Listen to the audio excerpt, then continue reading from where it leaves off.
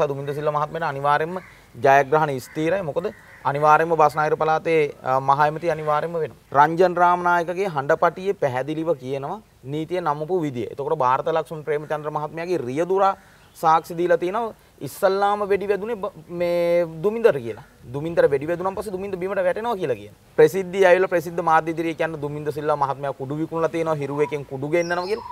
ප්‍රසිද්ධිය කියන්නේ අන්න පොරක් නම් කියන්න. පට්ටපල් හොරු ටිකක් පාර්ලිමේන්තුව ඇතුළට රිංගලා මේ අය මේ අයට ඕන විදියට මේක ඔය තමන්ට කැමති දේවල් හොරා කනවා සමහරක තමන්ට ඕන විදියට බඩු මිල් වැඩි කරන. හැබැයි මේ හැම දෙයක්ම කරන්නේ අහිංසක ජනතාව සම්පූර්ණයෙන්ම අමාරුයි දාන්න. ගෝඨාභය මහත්තයා විශ්වාස කළා 69 ලක්ෂයක් ඡන්දේ දීලා ගෝඨාභය මහත්තයාට බැරි වුණා නම් බැසිල් මහත්තයා මොනා කරන්න. එතකොට අපි අහන බැසිල් මහත්තයා විජ්ජාකාරයේද මේ ටික හැමෝම කරන්න පුළුවන්. 20 24 ඔබ දකින නායකයා කවුද? විස්සයි විසි අතර මං හිතන චැන් හින් කියලා නායකෙක් එයිද දන්නෙත් නෑ. රට යන විදියට. ඔයට වැඩිය හොඳට බෝල ගහන මිනිස්සු ඉන්න හවසට අපේ පිට්ටනියට ආවන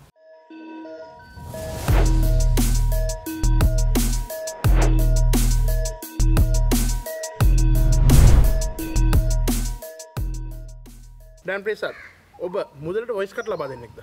මම මුදලට කොහෙවත් කොතනකවත් වොයිස් කට් ලබා දෙන්නේ නැහැ මොකද වොයිස් කට් දෙනකොට කොහෙවත් මුදල් ගෙවන්නේ නැහැ එහෙම තියෙනවා නම් මං කියන ඔය සමාජ කියෝකේ ඉන්න මිනිස්සුන්ට කියෝකේ ඉන්නට වැඩිය ඔප්පු කරලා පෙන්වනවා නම් ඉවරයි මෙන්න මුදල් දීලා තියෙනවා. මේගොල්ලෝ මේ වොයිස් කට් වලට කියලා ඔප්පු කරලා පෙන්වනවා නම් ඇත්තටම හොඳයි. ඔබ නිරන්තර දේශපාලනික කාරණා වෙනුවෙන් පෙනී සිටිනවා. වොයිස් කට් දෙනවා එහෙමයි. ඔබ කවුද? මම ඇවිල්ලා අපේ ජනබල පක්ෂයේ දැනට මාධ්‍ය ප්‍රකාශක හා කොළඹ දිස්ත්‍රික් නායක විදිහට තමයි මම කටයුතු කරන්නේ. ඔබ පසුගිය කාලේ දොමින්ද සිල්ව මහත්මයාගේ නිදහස සම්බන්ධයෙන් බොහෝ පෙනී සිටියා. ඇයි රංජන් ගැන කතා කරන්නේ නැත්තේ? රංජන් ගැන කතා කරන්න නැත්තේ හේතුව තමයි මට මෙන්න මේ දේ කියන්නේ. දැන් සමාජ මේක කතා කරාම නම් නොඑක් නොඑක් දේවල් දැන් මේකේ පළ කරයි. නමුත් හොඳට මතක තියාගන්න රංජන් රාමනායක මතද කිව්වා අපේ බුදුදහමේ අපේ යසෝදරා දේවියට කොච්චර අගෞරවයක් කරාද කියලා. චන්නත් එක්ක යාළු වෙලා කියලා කිව්වා සසල කරකිරුනේ මේක දැකලා කියලා කිව්වා. ඒ දේවල් කියලා බුදුදහමට අපාස කරා. ඊට වැඩිය අපි බුදුදහමේ ඒ කොටස පැත්තට දාමු. රංජන් රාමනායක කියන කතෝලිකෙක් මරියතුමීට කොච්චර අපාස කරාද? කොහොමද බබා මේ මරියතුමීට මෙහෙම මේ මෙයත් එක්ක සෙට් වෙන්නේ නැතුව බබා හම්බුනේ ජේසු හම්බුනේ මේක ප්‍රශ්නනේ කියලා තමන්ගේම ආගම ඒ කියන්නේ ලෝකයේ ශාස්ත්‍රුන් වහන්සේලාව නිග්‍රහ කර අන්න ඒවයි ප්‍රතිපාක තමයි අද රංජන්ට මේ පරිසම් දීලා තියෙන්නේ වෙන මුකුත් නෙමෙයි දුමින්ද සිල්ව මහත්මයා ඊළඟ බස් බස්නාහිර පළාත් සභා මැදිරියට ඉදිරිපත් වුණොත් මහඇමති වෙන්න පුළුවන්ද? අනිවාර්යෙන්ම මහඇමති වෙනවා. ඒක විශ්වාසය මොකද දන්නවද? එතුමා ඇවිල්ලා මේ ඔය මේ රටේ ඉන්න අනිකුත් දේශපාලකයෝ වගේ නෙමෙයි. ඇත්තටම ජනතාව අතර බෑලා ජනතාවත් එක්ක හිටපු නායකයෙක්. ඒක නිසා දුමින්ද සිල්ව මහත්මයාට අනිවාර්යෙන්ම ජයග්‍රහණ ස්ථීරයි. මොකද අනිවාර්යෙන්ම බස්නාහිර පළාතේ මහඇමති අනිවාර්යෙන්ම වෙනවා. ඒක ෂුවර්. ඒ තරණ මිනිස්සු ආදරේ එතුමාට.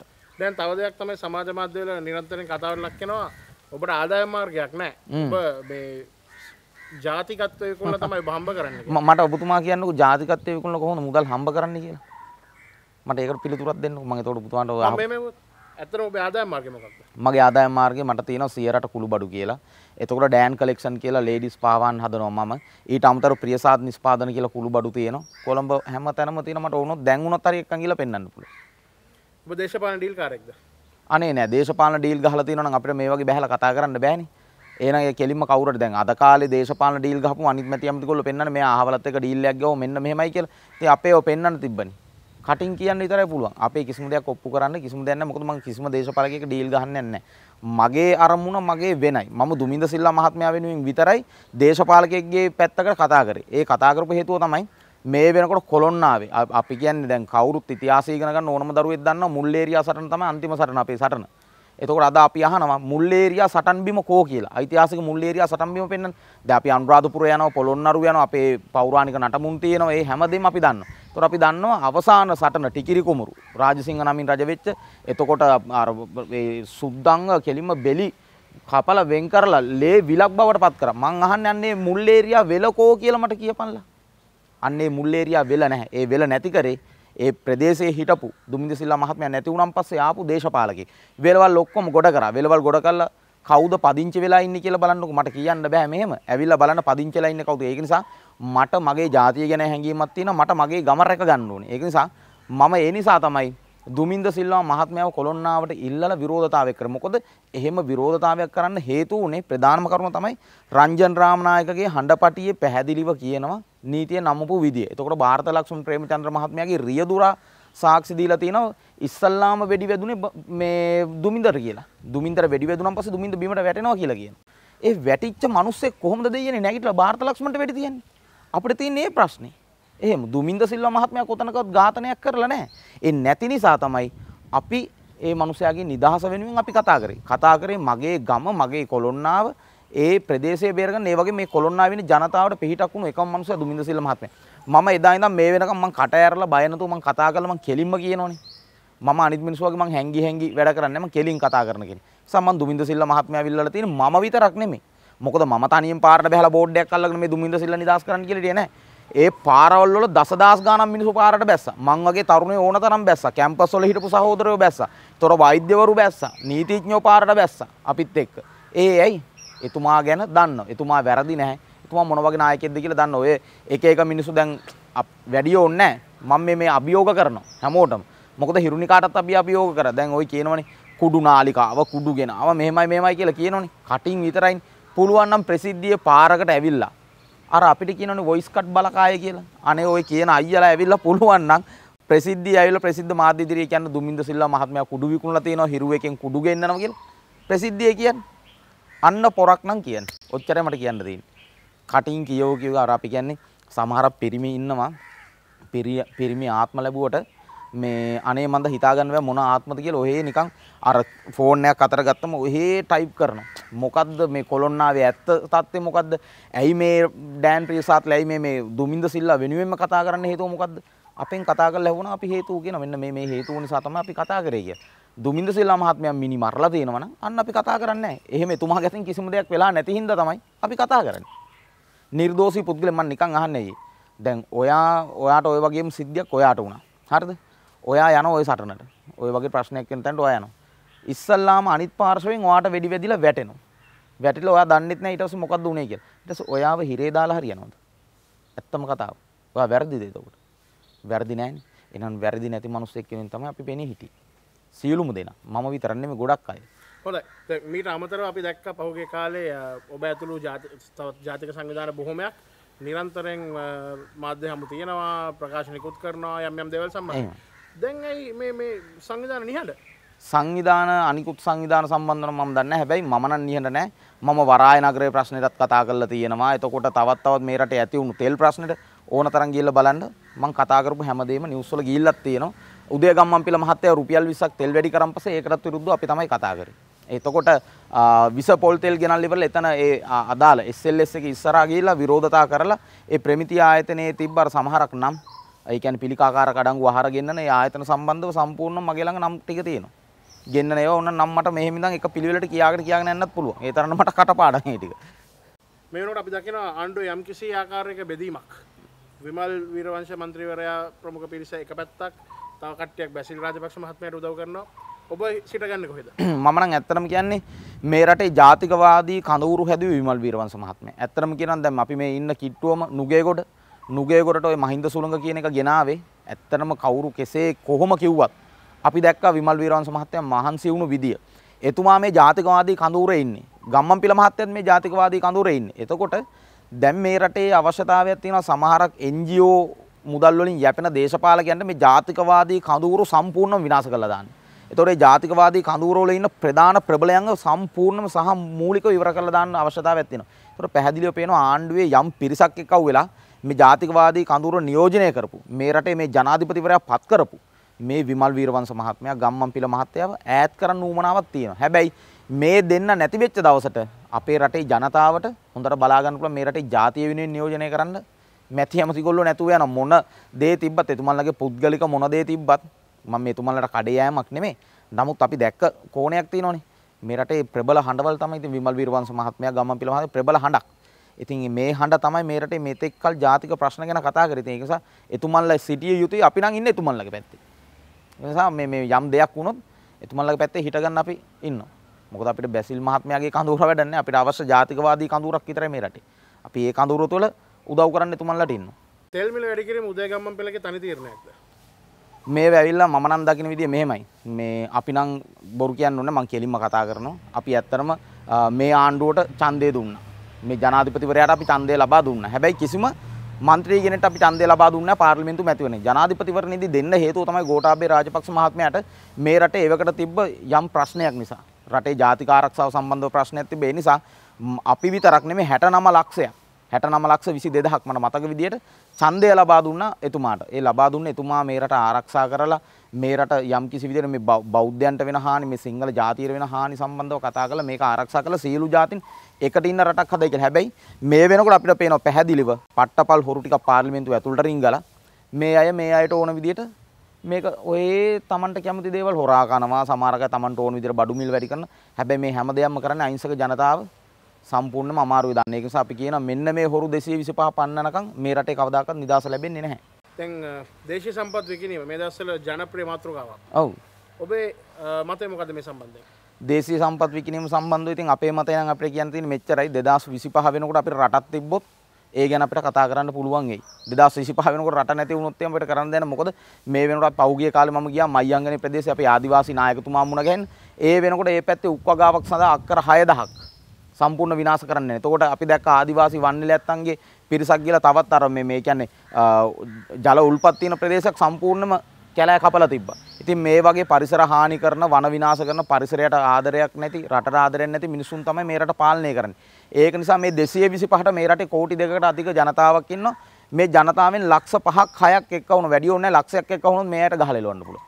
ඔබ වර්තමාන ආණ්ඩුව ගැන තෘප්තිමත් නැද්ද වර්තමාන ආණ්ඩුව ගැන නම් දැන් නම් ඇත්තටම සෑහීමකටපත් වෙන්නේ නැහැ. මොකද කලකිරීමක් විතර අපිට තියෙන්නේ. මොකද අපි විශ්වාස කරා සිංහල බෞද්ධ පදනමින් ඇවිල්ලා අවසානයේ මොකද වුනේ? සිංහලයාගේ ඔළුවටම අත හොදලා ගිය ආණ්ඩුවක් බවට පත් වුණා. ඉතින් ඒක නිසා ඉදිරියේදී දැන් එන නාට්‍යය තමයි අලුත්ම නාට්‍යය මිනිස්සු හිතේ තියන් ඉන්නවා. දැන් බැසිල් මහත්තයා ඇවිල්ලා මේ රට සුවම්පෝසිත කරයි මේ රටේ ප්‍රශ්න ඔක්කොම निराකරණය කරයි කියලා.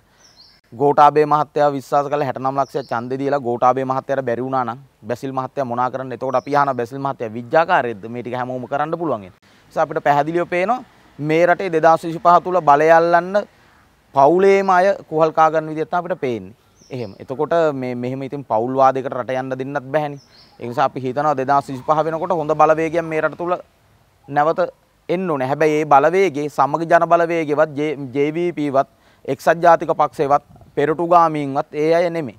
මොකද මේ හැමෝගෙම අවුරුදු පහෙන් පාට මේ හොරු ටික පාලනය කරන්නේ පහෙන් පාට කොළ පාට එක කාලයට පාලනය කරනවා ඊළඟට නිල් පාට ආපහු පාලනය කරනවා දැන් වෙන පාටක් කියලා මෙරුම් පාට වෙලා ඒ අය පාලනය කරන මේ හොරු ටිකම තමයි අර නිකන් ආහාර දාමේ වගේ කැරකි කැරකි කැරකි කැරකි අපේම අපිවම කකා ඉන්නේ. ඉතින් ඕක තමයි මේක වෙන්නේ. විස්සයි විසි හතර ඔබ දකින නායකය කවුද 20යි 24 මං හිතන චැන් හින් හුන් කියලා නායකයෙක් එයිද දන්නෙත් නැහැ රට යන විදියට. ඒක තමයි කියන්න තියෙන්නේ. තාම 24 පැහැදිලි නායකයෙක් නැහැ.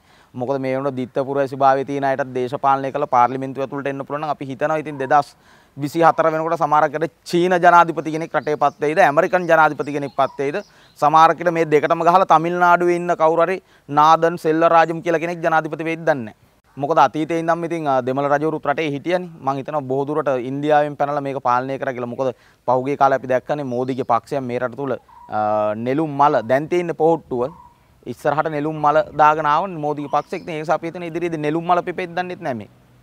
හොඳ ඩෑන් ප්‍රේසාත්ගේ ෆයිනල් ටාගට් එක මොකද්ද මගේ නම් ටාගට් එක මෙන්න මෙච්චරයි. මම එදා ඉඳන් මේ වෙනතෙක් එකම අරමුණක ඉන්න පුද්ගලෙක්. නිසා මට තියෙන්නේ රට ජාතිය සම්බුද්ධ ශාසනය රැකීමේ අරමුණ විතරයි.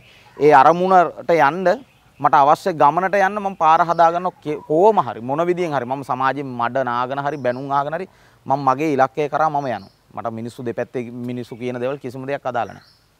මම වගකීමෙන් කියන මේ පාර කොළොන්නාවේ නගර සභාව බහුතරයක් බලය අපි අතට ගන්න. මම ගන්න.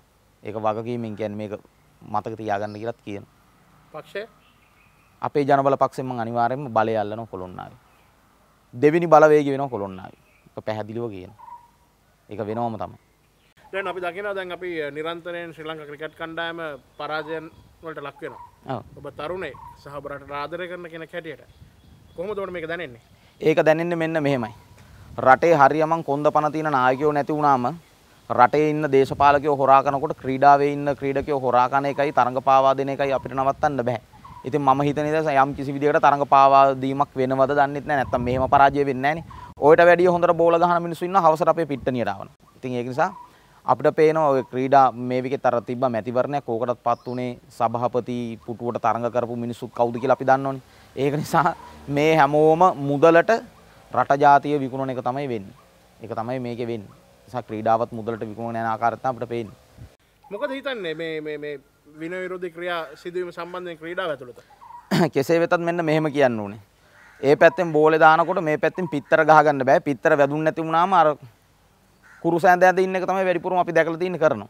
නිසා මේ මේ එහෙම මේ ආගමක් අරගෙන ක්‍රීඩා පිටියට බහින්න නැතුව රට ගැන හිතලා ක්‍රීඩා කරොත් දිනන්න පුළුවන්. මොකද කලින් මේ රටේ හිටිය ක්‍රීඩකයෝ මුත්තයියා මුරලිදරන්. එතකොට තවත් කතෝලික ක්‍රීඩියෝ හිටිය ක්‍රීඩකයෝ හිටියා බුදුදහම අදහපු ක්‍රීඩකයෝ හිටියා. මේ හැමෝම එකට එක්කහුව වෙලා රට දිනුවා මිසක් කොහෙවත් ගිහලා ආගම සීකර කර හිටියේ නැහැ. දැන් අපිට පේන අර බෝනගෙන් කාර්යෝ සෙට් එකක් එක්කවලා අමුතු සංස්කෘතියක් ගොඩනගාගෙන යනවා රටේ. එතකොට ඒක දැන් ක්‍රීඩාවටත් ඇවිල්ලා දේශපාලකයන්ගේ ඔළුව වලටත් ඒක ගිහිල්ලා. ඉතින් මේ රට සම්පූර්ණ විනාශ කරන යන විදිහත් තමයි අපිට පේන්නේ. ඉතින් අපිට ඇත්තනම රටේ මිනිසුන්ට මේ සතුටකට සතුටකට කියලා විඳින්න තිබ්බ ක්‍රීඩාව විතරයි ක්‍රිකට් ක්‍රීඩාවට ගොඩක් ආදරය කරන ප්‍රේක්ෂකයෝ මේ රට තුල ඉන්නවා. හැබැයි ඒ මිනිසුන්ගේ හිතුත් විනාශ කරලා මේ මිනිස්සු සැපසේ ජීවත් වෙන දැන් අපි දැක්ක සිගරට් එකක් බොන්න ඕන රටට ඇවිල්ලා මේ ඇවිල්ලා බිව්වනම් ඉවරයි. අර මේ එකෙන් පැනලා ගිහලා රෑ ගිහලා සිගරට් බීලා ක්‍රීඩාවත් හැල්ලුවට ලක් කරලා රටත් හැල්ලුවට ලක් කරලා මන්නම් කියන්නේ ඒ අයව කෙලින්ම අවුරුද්දකටවත් අවුරුදු පහකටවත් මේ මේ ක්‍රිකට් තහනම් කරන එක නෙමෙයි කරන්න ඕන හොඳම දේ. සම්පූර්ණයෙන්ම ක්‍රීඩාවෙන් අයින්ට කළා දාන්න ඕන. මොකද ඊට වැඩිය දක්ෂ ක්‍රීඩකයෝ ඉන්නවා මේ රටේ. ඒ අයට අවස්ථාව දෙන්න ඕනේ. දැන් ඔබ සියලුම පක්ෂවලට දැඩි ප්‍රහාරයක් එල්ල කරනවා. අනිවාර්යයෙන්ම. නමුත් ඔබේ පක්ෂය අපේ ජනබල පක්ෂය එක මන්ත්‍රී ආසනයට ස්වාමින් වහන්සේලා දෙන්නෙක් අතර සෑහෙන ගැටුමක් තිබ්බා. ඔව්. මේක හොඳද? ඇත්තටම මේක හොඳ නෑ. ඔව් හොඳ නෑ කියන්නේ හේතුව මේමයි. ඥානසාර හාමුදුරුවෝ නම් කිසිම ගැටීමකට යන්න ගියේ නෑ. ඥානසාර හාමුදුරුවෝ ඇවිල්ලා කරේ පක්ෂයේ ලැබුණු മന്ത്രി ධූරය මාස 3කට රතන හාමුදුරුවෝ ඇවිල්ලා ඉල්ලපු නිසා ඥානසාර හාමුදුරුවෝ ඒක පූජා කරා. උන්වහන්සේට යම් වැඩපිළිවෙලක් තියෙනකො ඒ ටික පාර්ලිමේන්තුව තුල කතා කරන්න ඕනි කිව්වා. ඒකට අවස්ථාව දෙන්න කිව්වා ඥානසාර හාමුදුරුවෝ මාස 3කට අවස්ථාව දුන්නා. දුන්නම් පසු මාස 3 ලං වුණම් පසු ඥානසාර හාමුදුරුවෝ නැවතත් අපිත් එක්ක කතා කළා මල්ලි මේක මාස 3කට නෙමේ රතන හාමුදුරන්ට මාස 6කට වගේ අපි දෙමු තව මාස 3ක් රතන හාමුදුරන්ට කරන්න කියමු කියලා. ඉතින් රතන හාමුදුරන්ට තව මාස 3ක් දුන්නා මාස 6ක්. එතකොට උන්වහන්සේ චීවරයක් දරාගෙන ඉන්න භික්ෂුන් වහන්සේ නමක් විදියට උන්වහන්සේ තේරුම් ගත යුතුයි. අර තණ්හා ජායති සෝකෝ කියලා තියෙනවනේ. තණ්හාවෙන් ඉන්න නරකයි. මොකද වසර ගාණක් පාර්ලිමේන්තුවේ රතන හාමුදුරුවෝ හිටියනේ. ඉඳලා තාමත් අපි නම් දැක්කේ නෑ සෙතක් වෙනවා මේ ජාතියට. හැබැයි මේ රටේ මේ සම්පූර්ණව දැන් මේ මේ භයානක පැත්තකට රට ගිහිල්ලා තියෙන්නේ. මේ මොහොතේ තමයි ඥානසාර හාමුදුරුවෝ පාර්ලිමේන්තුවේ සිටිය යුතුයි කියන මතය තමයි අපි ඉන්නේ. මොකද බහුතරයක් මිනිස්සු ඡන්දය දුන්නේ ඥානසාර හාමුදුරුවන්ගේ ජාතික ලැයිස්තුවෙන් පාර්ලිමේන්තුවට යවන්න. පාර්ලිමේන්තුවට යවන්න ඕන නිසා තමයි මිනිස්සු ඔක්කොම 60000 ගාණක් එක්කහුව වෙලා 60000ක ඡන්ද ලබා දුන්නේ ඥානසාර හාමුදුරුවන්ගේ හඬ පාර්ලිමේන්තුව තුල දකින්න. මොකද ඥානසාර හාමුදුරුවන් තියෙන නඩු ප්‍රමාණය කොච්චරද කියන එක අපි දන්නවා. මොකද උන්වහන්සේ එළියේ කතා කරලා ඉවරලා ප්‍රශ්න වැටිලා නඩු දාගෙන ඒ නඩු වලට මුදල් හදල් ගෙවා ගන්න විදියක් නැතුව අසරණ වෙච්ච අවස්ථාවල අපි දැක්කා. හැබැයි උන්වහන්සේට කොතනකවත් අපි අසරණ වෙන්න දෙන්නේ නැහැ. වගකීමක් තියෙනවා රතන හාමුදුරන්ට මේ මොහොතේ ඥානසාර හාමුදුරන්ට මේක ලබා දීලා මම මේ සටනට නායකත්වය දෙනවා. ඥානසාර හිමිට මේ පාර්ලිමේන්තු අසුන අපි බාර දෙනවා. ඔබ වහන්සේ මෙතන ඉඳන් කරගෙන යන්න මම පිටිපස්සේ ඉඳන් ශක්තිය දෙනවා කියලා නායකත්වයක් දෙන්න තිබ්බා. එහෙම නායකත්වයක් දෙන්න තරම් කසේරුකාවක් රතන හාමුදුරන්ට නැහැ. නැති හින්දා තමයි අපි ගෙලිම කියන්නේ ඥානසාර හාමුදුරන්ගේ මේ පාර්ලිමේන්තුවට යවන්න. මොකද මේ මේ ඥානසාර හම්දුරන්ගේ පිටිපස්සේ ඉන්න තව පිරිසක් ඉන්නවා. මේ රටේ ප්‍රාදේශ සභා තියෙනවා, පළාත් සභා තියෙනවා. එතකොට පාර්ලිමේන්තු මැතිවරණ. එතකොට නොයෙක් නොයෙක් මේ රටේ අපේ අර ජාතියට වෙන අනුතුරු සම්බන්ධව කතා කරන තරුණ පරම්පරාවක් හදන්න ඕනේ. මේ තරුණ පරම්පරාව යවන්න ඕනේ ප්‍රාදේශීය සභාවටත් පළාත් සභාවටත් යවන්න ඕනේ. මේකට නායකයෙක් ඉන්න ඕනේ. ඒ නායකයා තමයි පූජ්‍ය ගලබඩත්තේ ඥානසාර හම්දුරු. ඥානසාර හම්දුරු නැතුව මේ රටේ කිසිම දෙයක් ඇත්තරම ජාතිය වෙනුවෙන් කරන්න බෑ. උන්වහන්සේ තරම් දැනීමක් තියෙන භික්ෂුන් වහන්සේ නමක් නැහැ මේකේ. ඇත්තටම ඕක තමයි. ඒ හින්දා අපි කියනවා අපි තව කෙටි කාලයක් බලන් ඉන්නවා. රතන හාමුදුරන්ගේ යම් කිසි විදියකට යම් ඇත්තටම මේ මේ කරුණාවක් මෛත්‍රියක් හිත තුල තියෙනවා නම් රටට වෙන අනුතුර දැකලා ඉවරලා මේක පූජා කරයි නැත්නම් ඔය එක එක දේශපාලකයන්ට උමනා විදියට මේ රතන හාමුදුරුවෝ නටනවා මිසක් රතන හාමුදුරුවෝ මේ ජාතිය මිනිසුන්ට උමනා විදියට නටන්නේ නැහැ. ඔක තමයි අපිට කියන්න තියෙන්නේ. ඒක නිසා මේ මේ අවුරුදු පහක් දැන් ඊට වැඩි කාලයක් දැන් පහෙන් පහට ඕම හිටියනේ හැම ආණ්ඩුවක් පෙරලෙනකොටම රතන හාමුදුරුවෝ එතන හිටියනේ. ඉතින් එතන හිටපු රතන හාමුදුරන්ට මේක කරගන්න බැරි නම් කරගන්න පුළුවන් කෙනෙක්ට දීලා පැත්තකට වෙන්න ඕනේ. ඔක තමයි අපිට කියන්න තියෙන්නේ. ඒ නිසා පක්ෂයේ එක ලොකු අර්බුදයක් නෙමෙයි. නමුත් අපි ඒක කෙසේ හෝ විසඳ ගන්නවා.